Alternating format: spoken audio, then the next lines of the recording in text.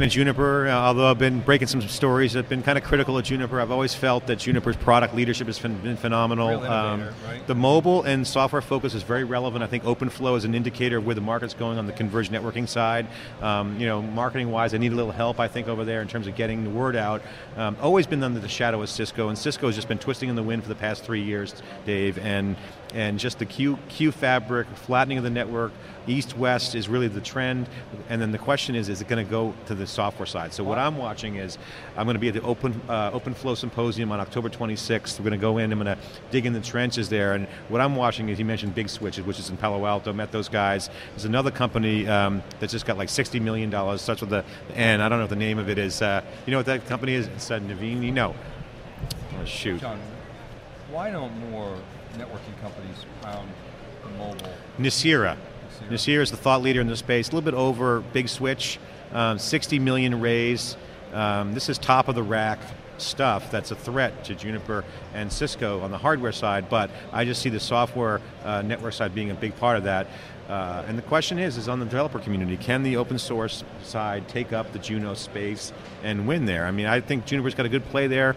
Uh, I think there's still some op open jury there. Mobile security, I think, is a hot spot for them that they're doing well in. I like the mobile why, security. Why don't more networking companies pound mobile?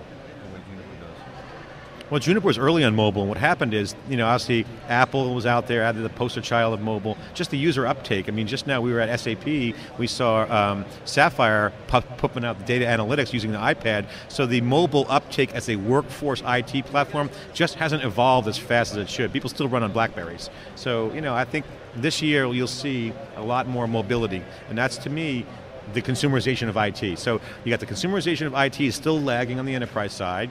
The cloud and the infrastructure convergence side is still developing. So I've, I've always felt that Junos and uh, mobile is a good strategy for, for them. It's just that I don't think the market has moved as fast and has shifted a little bit. And with big data and cloud, we're seeing that now, and it's kind of confusing. Well, but I mean, it seems like you would want to be there, right? I mean, that's the, the, we were talking earlier about Apple, the most valuable tech company. Why is that? It's because of mobile. We're talking about the lack of Oracle's mobile.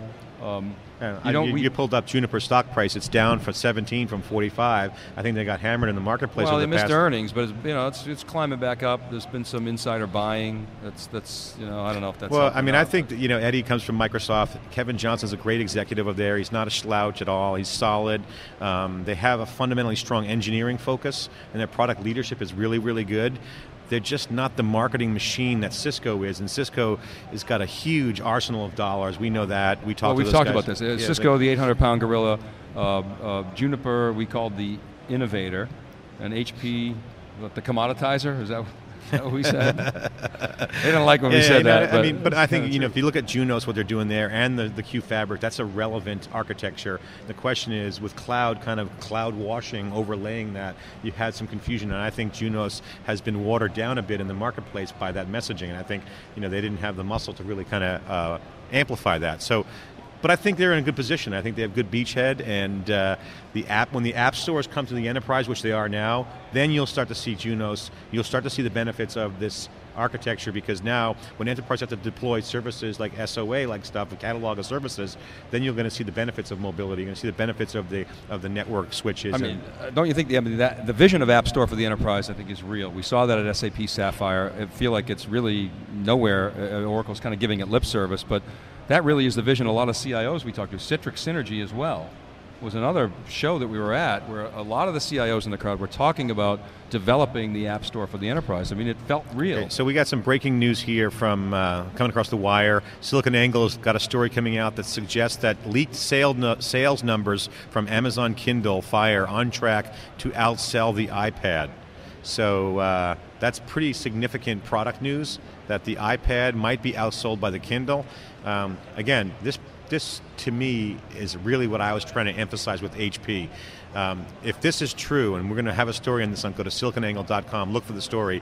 If the leaked sales numbers suggest that the Kindle Fire is outselling the iPad, this is going to be a direct proof positive that HP needs to stay in the tablet business because when HP dropped the price of the touchpad, that thing sold like hotcakes, and that means that the price point is if if if it can get down to the, a certain point, the indifference by the by the brand will be a factor. In other words, if the iPhone 4S, for example, is $600 and the iPad continues to stay a high price, that's going to be the boutique jewelry of tech. And then you see the price points drop lower. You'll see massive sales. That's a direct threat to Apple.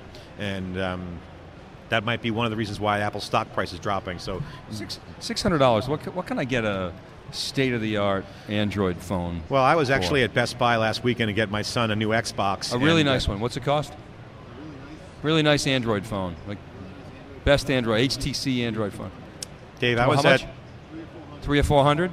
All right, so that's a pretty significant premium for the iPhone. That I was at you're uh, gonna go out I was and at Best Buy this past weekend buying my son a new Xbox, and who walks in is John Doerr, uh, Kleiner Perkins. Uh, he runs the Yep. iFund over there, we, and I saw him looking at the mobile phones. I was browsing actually the netbooks for two hundred ninety nine dollars. You can actually get a full netbook um, laptop. And so you know, the price points have dropped down on the commodity side. That's going to absolutely happen on the on the Android as well. And if Apple continues to have the price margin, a price street price so high, you'll see a massive consumer uptake of the low end uh, market, and Yeah, that's this- a direct threat. This is what happened the last time uh, Jobs left Apple. Uh, you had John Sculley, who basically wanted to make sure that every PC that they sold had a, you know, 50 plus percent gross margin, and they kind of priced themselves out of the market. And then Windows came in; it was the volume leader. Price kept dropping. It was good enough. Why doesn't the same thing happen with Android? Uh, also, breaking news from Kara Swisher: Federated Media buys uh, Lijit networks. My, you know take is that uh, the take is that uh, some developers, according to Markers and Hopkins, weren't thrilled with the quality of the product. Uh, traffic, basically, it's a traffic sucking machine. And uh, when you take traffic away from bloggers, they lose money. So, you know, a lot of changes going on. We heard from Juniper Networks, and uh, you know, I think just overall the network environment right now, both on the internet and hardware, is just crazy. So, you know, you know, you're going to see consolidation. We heard that last yesterday, and that will continue to happen. And uh, you know, it's just it's just crazy, Dave. Yeah, so um, we're here live at Oracle Open World. This is Silicon Angle's continuous coverage of Oracle Open World 2011. We're here in the Moscone Center in San Francisco. Um, we are inside the Cube. The Cube is the place where we bring in all the best guests, the executives, the end users, the bloggers, the analysts, to share their knowledge with you, our community. Um, a lot of this is probably new. A lot of you may not be familiar with Oracle, Oracle Open World. A lot of new parlance. You know, we're talking about, you know, you know, VMs and OVMs and all kinds of, you know, other tech terms. A lot of, a lot of new acronyms. Well, go to siliconangle.com, go to siliconangle.tv, check out the videos, go to Services Angle, go to wikibon.org. Um, wikibon.org is a place where peers meet and share ideas and solve challenging problems. Sign up for Wikibon, get invitations to private meetings uh, to interact with your peers. So uh, check out those resources. If you have a question, hopefully we have an answer. Let us know. Tweet Okay, us so- at Furrier, at Divolante, and we're here to help. So we're going to play in picture-in-picture uh, Siri Accelerator interview from South by Southwest 09. This is our first Cube prototype event that Mark Risen Hopkins did an interview with them. Mark had long hair then. Um, and, and this is a key part of the new Apple announcement is that this is part of the new iPhone 4S and is essentially an assistant, voice assistant, that helps you use words, voice activation to find things. And uh, there's no sound here. Kind of like a Droid had like two years ago. Is that, is that what you're talking about? Remember when I Apple came out with the you can press the number and call it? You know, like, like BlackBerry had the Actually, it's, before. it's more advanced now. You can actually just say the number. well, that's what I'm saying. out. It's So, the other. you know. I mean, that's my to my point though. I mean, you're seeing innovation outside of the Apple community. I, I see the same thing happening in, in mobile that happened in, in PC. Very similar anyway. You know, a lot of the innovations uh, coming from that larger ecosystem, and um, you know, I think six hundred dollars. I think a lot of consumers are going to think twice about uh, a six hundred dollar 4S. I don't know. Well, I think this is the innovation we're going to see. We're going to see automatic automation around the user experience, and Apple is leading the charge there. And uh, you know, the enterprise will continue to lag. I as don't was think they're leading the charge. I think that's uh, that. Who? that- I- Apple? Apple. I, I, voice activation. Droids had it for for years. So it's more than voice activation. So this is truly innovation. AI Okay. on your phone, not just parsing words. Um, and Apple is and Apple is leading innovation. So I mean, I mean, there's been voice Yeah, recognition. hard to say Apple's voice recognition. Voice recognition has been around for a long time, and uh, you know, Dragon all these companies. So Android's done a good job with it, but I, I Not a big fan of Android, are you? I am a big fan of Android, but I'm, I think Apple's ten times better um, in terms of the phone and the iPad. I think on the phone side, What makes them better? The user experience, the integration, the software, everything is 10 times better, um, except for Gmail integration and YouTube, which is phenomenal on the Android phone, hence the Google integration. Um, on the iPad side, absolutely harder to take that same phone, form, phone fact, phone form factor and make it into a tablet. And that is why no one's been able to crack the code on iPad. It's just hard to do. As a software developer, it's, it's, it's incredibly hard to make that work.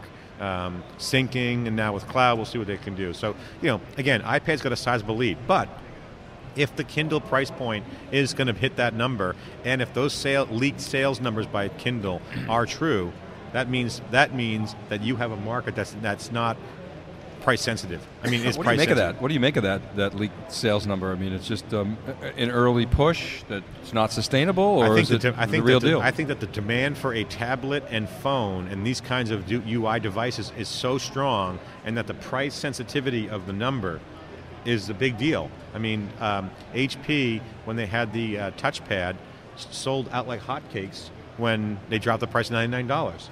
It's just off the shelf. They sold out in like days.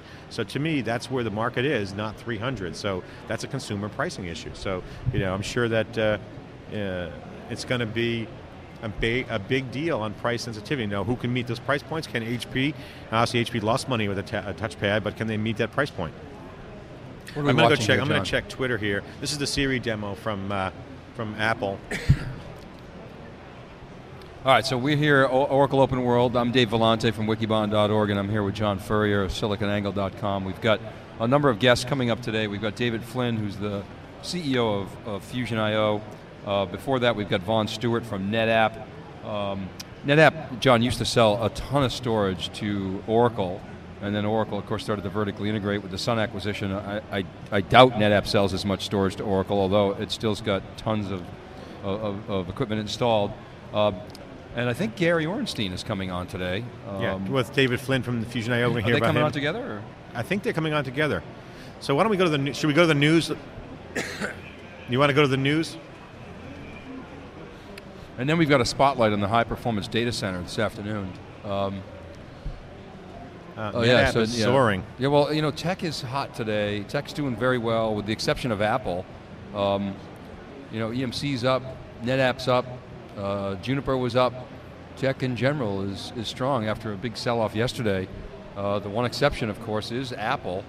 Um, lack of iPhone 5 and the website being down uh, really is what uh, what drove that stock. Really, the former more than the latter. But uh, Apple continues to be down, although it's recovered, John, from its lows.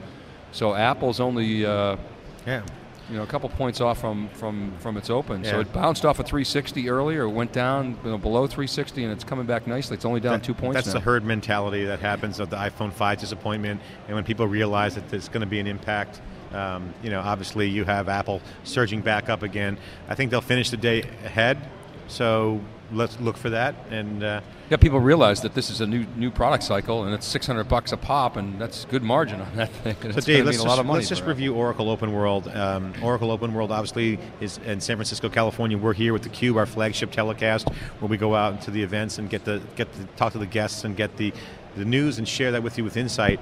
And I think the big story for Oracle Open World here is that it's all about big data. Big data is about Hadoop unstructured information, and this really puts the, the shines the light on the fact that mobile data in unstructured information is the key trend, um, and successes of, of networking products like Juniper and HP right now shine the light on the fact that the market is changing significantly and the new user experience is happening. Yeah, and we're covering all the angles here at Wikibon and Silicon Angle. Um, we've got a page up uh, on Wikibon. Uh, if you could bring that, if you bring that up. So here you see, uh, this is uh, placed up by there by Jeff Kelly. You can see all the videos that we've done, um, and we've got people live blogging, um, highlighting these videos, coming up with comments. So you can see it's a nice resource for you. Um, check it out. It's uh, it's on wikibon.org, and at the very bottom you'll see um, all the editorial and articles on on Silicon Angle.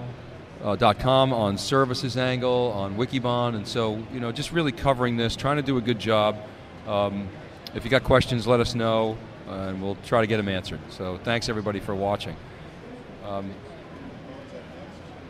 okay so Vaughn Stewart is up next from NetApp Um, is Vaughn in the house? Yes, he is. So, Vaughn is a virtualization evangelist, so we're going to talk about NetApp. NetApp's handing out these cool blue hats. They got a big booth here. Um, a lot of people um, know NetApp, but many many may not. Um, NetApp